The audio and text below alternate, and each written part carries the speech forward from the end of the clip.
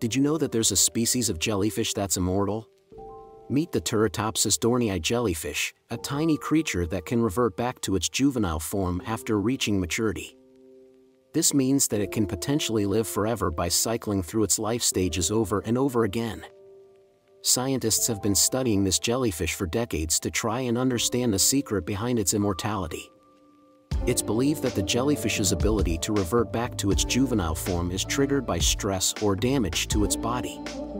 As the jellyfish matures, its cells differentiate into specialized structures. But when a jellyfish experiences stress, the cells can return to their undifferentiated state, allowing the jellyfish to start its life cycle all over again.